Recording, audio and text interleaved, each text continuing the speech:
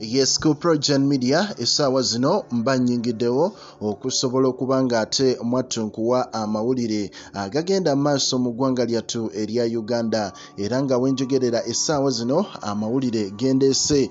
Gannaku nnyo nga gava mu nkambi ya bobi wine oba giyite nup amawulire gano ge g'omukulu omu eya atadde etafaali eddene ku struggle eno. Omukulu amanyiddwa nga kasoma ligase.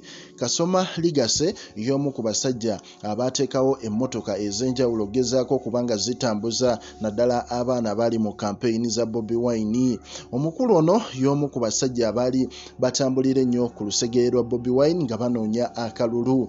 Naye ate enkya ya leero amawulire agagudde mu matu g'abantu n'ebintu bye balabyeko ate bambi. Omukulu kasoma ligasa ono afiiridde mu kabenje olunaku olwaleero naye okusinziira ku ba eyewitnesses ababaddewo ate mwattu bavuddeyo ne bagamba nti ate omukulu amanyiddwa nga kasoma ligase ayina wabadde ku embasi emu ku ssaawa kumi ez'enkya ya leero. Essaawa kumi ez'enkyala ya leero oba ziyite 4 am ayina embasi gyabaddeko. Mu kubeerako eyo embasi kigambibwa okuba nti waliwo omukulu omu atomedde emmotoka ye eya sahara. Era mu kutomera emmotoka ye eyo omukulu oyo tayimiridde n'adduka misinde mu kudduka emisinde noono ligase n'agamba owaaye tondaba nga nja kugoba. Okitegeera uh, ligase n'adduka emisinde naye nga agoba omukulu oyo atomedde emmotoka ye.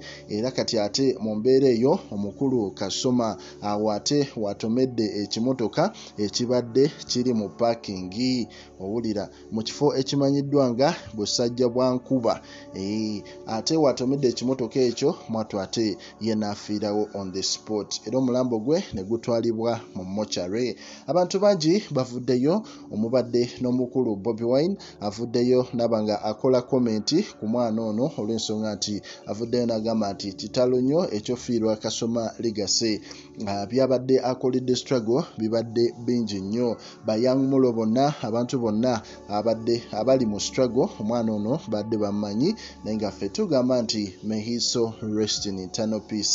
Naye nga ku pregen media ffe tuba tukuwa updates eziba zeetoolola eggwanga erya uganda. Likinga commentinga era osubscribinge